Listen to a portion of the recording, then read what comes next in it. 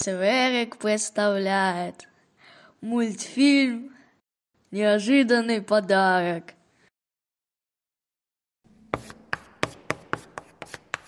Сколько будет 2 плюс 2? Отвечает Кирилл.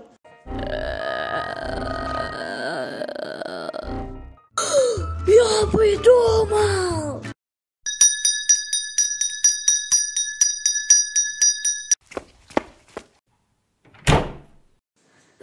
Ой, как тесно! Когда там уже урок начнется? Жду не могу.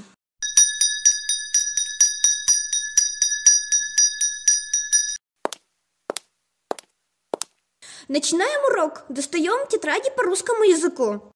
А где Кирилл? А-а-а! Мария Ивановна, это цветочки для вас, для нашего любимого учителя. Держите самые красивые цветочки для вас.